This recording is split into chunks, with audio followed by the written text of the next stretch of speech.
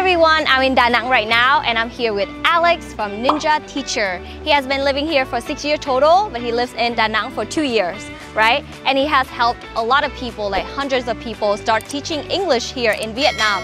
So thank you so much for being here. How are you doing today? Yeah, I'm doing great. It's a beautiful day here in Da Nang and I'm excited to film today with you. Yeah, so in today's video, we're gonna have a little sneak peek about his life here in Da Nang. But first, let's get some food. So where are we going next? Yeah, we're going to go to uh, Mi Quang restaurants to get a central Vietnamese dish and it's a special version with fish in it. Okay, let's go then. I can't wait. Let's go.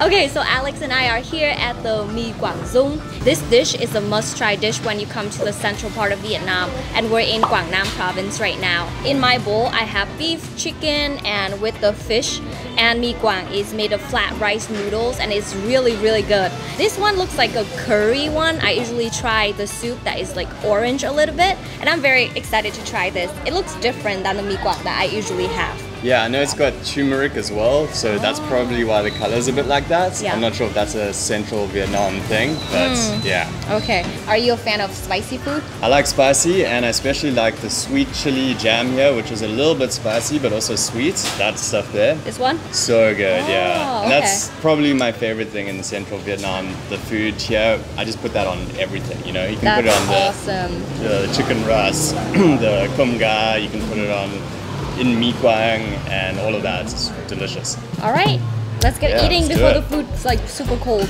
Yeah. All right, let me try the chili in here that you said is really good, right? yeah, this chili is so good. And then they have the veggie here. In the central and the southern part of Vietnam, they serve a lot of veggie.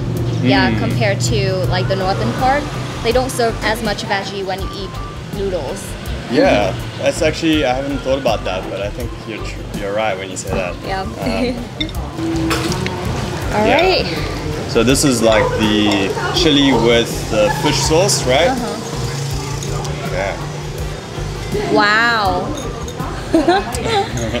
You're the local here now, so I'm just gonna follow you. You know. Mm. Wow. I can smell the turmeric in there. Right. So good. Yeah, I haven't actually tried the one with fish before, so it'd be interesting to try it. Let's give it a go. I want it a little bit more spicy. Hmm.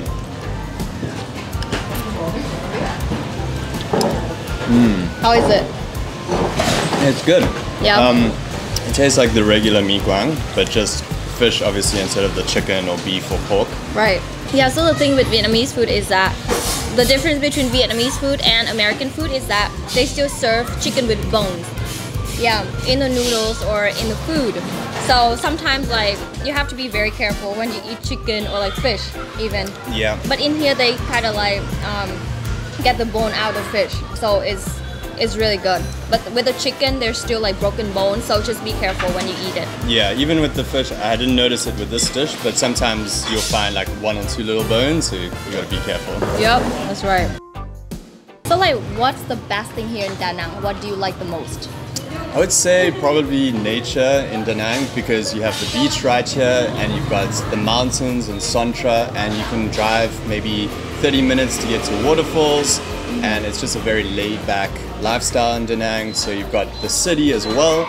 So everything you need in the city, good Right. food, good cafes, and then the beach and nature. Oh wow, it's everything here. Everything is good here in Da Nang. Oh my god. It is so loud. Yeah, that's the thing in Vietnam. It's very hard to find a quiet place to talk and to eat. So when I was in Vietnam, I kind of get used to it. But because I was um, abroad for like seven years, coming back with a kind of like new lens, I start to notice it. Right. Yeah, I don't know. It's just very hard to get used to it right now. Yeah. Right, yeah, it still happens here in Da Nang as well, uh, but it is a little bit less bad here, except for all the resorts that they're Oh, yeah. building, because that's kind of slowed down lately in the last year or two, but uh, there were just resorts being built non-stop, you know? Oh. But a little bit less uh, noise and uh, construction happening in Da Nang than I found in Saigon. Absolutely. What are the things that you're trying to get used to in Vietnam? Yeah, well, I think this is a good example of what we're talking about is there's often a lot of construction and noise. In Da Nang, a little bit less so, I'd say, than maybe Saigon and Hanoi. I would say also, just comparing Saigon to Da Nang, I think that uh, Da Nang's more laid back, but not quite as exciting as Saigon or Hanoi. Not as much stuff to do. You can have a really laid back and relaxed lifestyle here, which is nice, but I do miss the you know the nightlife and the cafes and the restaurants and stuff because there's so many in the big cities and here uh, you get yeah it's not quite as exciting here Okay, got it. Yeah. it's getting a little bit loud in here and we just finished our food. So right now, Alex and I will head to the coffee shop and then I'll ask him more questions about his life here in Da Nang and uh, his job here as well. All right, let's go. let's go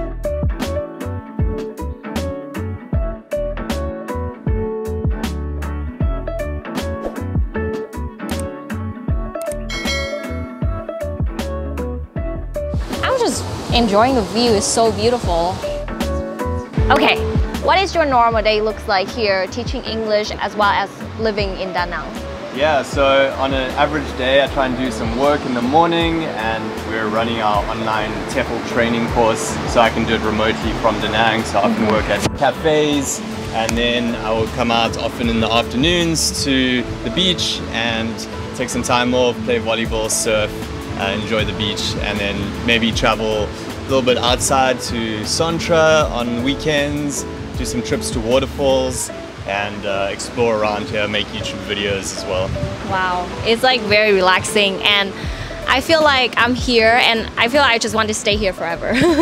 Yeah. Cause it's so nice. The weather, the food, and the people uh, themselves, they are very friendly and very nice. Can you share with me what's the English teaching job market looks like in Vietnam? Yeah, so teaching jobs, uh, you can get one as a first time teacher. You just need a bachelor's degree and a TEFL certificate. Uh, often they want people to be from native English speaking countries, but as a first time teacher, you can make about 1,200 to $2,000 per month. And as you know, I know you just made a cost of living video. You can Yeah. live really well on under $1,000 per month, so it's a good salary for English teachers, and it's not so expensive to live in Vietnam, so you can save money and uh, you know live a pretty good lifestyle. And the working hours aren't too bad. You can teach maybe about 20 hours per week uh, on average, 15 to 25 maybe. And uh, yeah, so it's quite a good opportunity for a lot of people. That's awesome. So if people want to move here and get um, an English teaching job, what do they need to do? Yeah, so the first thing is to get a TEFL certification because that teaches you how to be a teacher because just because you can speak English doesn't mean you know how to teach it. And schools require you to have that and the government requires you to have that to get a work permit as well. So getting a TEFL certification and obviously as you know things are not open with the borders yet, but I'm sure you'll make a video when they are as well as me but uh, when they are open, then typically you come to Vietnam and you do in-person interviews with schools, and then you get the job, and then you process all the work permits and things like that. That's awesome. Um, so your life here, you've been living here for six years in Vietnam, but two years totally in Da Nang, right? Yeah. Yeah. So why Da Nang? Or let's put it first, like why Vietnam, and then after that, why Da Nang? Yeah, so I found myself in Vietnam after teaching for a year in South Korea, and then I came to Vietnam and I just loved it. I lived in Hanoi for a year, then Saigon for four years, and then since then I came to Da Nang. So just Vietnam in general, the food, the people, travel, the culture, uh, everything. You know, I've like you, I make a lot of videos about living in Vietnam, and I've shared a lot of it. So you can just watch some of my videos just to see why Vietnam is so great. Yeah, so make sure you follow Alex um, and his YouTube channel and his Instagram so you can get the latest updates about the TEFL uh, and how to get an English teaching job here in Vietnam, as well as the life here as an expat.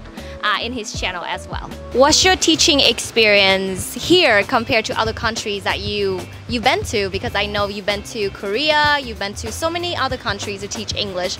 So what's the difference here among those countries? Yeah, so I spent a year teaching English in South Korea, and I would say in most Asian countries the kids are quite polite and well behaved for the most part. You know, it's kids everywhere are, are kids, right? But I think compared to the Western world, in Asia, students really try hard to learn and do well, as well as Vietnam, I find the students really friendly and energetic and uh, you know engaged. It depends on the age group, depends on a lot of Right. factors. But um, yeah, I really liked teaching English when I was doing that full time here. So yeah. Yeah, especially the second and the third graders, you know, mm-hmm. they would not sit still, and you need to be very, very patient with them. yeah, I think that's one thing about teaching English too is it's quite interactive and engaging. It's not like mm-hmm. when you think of school back home mm-hmm. because you're teaching a language, you're not just teaching like classroom teaching. So lots of games and activities, and you have to have quite a lot of energy. Uh, and it is quite uh, engaging kind of teaching style. So I know a lot of my audience from my channel wanted to travel and move to Vietnam. So any advice or any suggestions before they come? Yeah, I think Vietnam is a great place to live and work, and I've had an amazing time. It totally changed my life living abroad in Vietnam. So, you know, we've helped a lot of people do it too, and I don't think anyone ever regrets it. You know, maybe they'll just do it for one year, maybe two years, maybe they'll stay for a long time. But I don't think anyone regrets doing at least a year of teaching English abroad or living abroad. So I'd highly re- recommend it, you know? Yeah, thank you so much, Alex, for showing me beautiful Da Nang. And guys, Alex made a video about um, my story and the places that we went to in Da Nang as well. So make sure you check out his video that will be coming very soon. And if you want to know how to get a uh, TEFL certificate or how to get an English job here in Vietnam, I'll leave the link below in the description box so you can check it out. Don't forget to subscribe to my channel and Alex's channel to know more about the life in Vietnam. And do you have anything else to say to the audience? Yeah, just I think what Van is doing is great. So definitely watch Van's videos. She's really great. It's showing Vietnam life and culture. So yeah, it was nice to collaborate with you today. Okay, thank you so much for being here. And thank you guys for watching. I hope to see you guys soon. Bye. Bye. Let's go then. I can't wait. Let's go. you went that way. I was like that. Yeah, so the thing with Vietnamese food. but other than that, yeah, I think. Uh, There you go.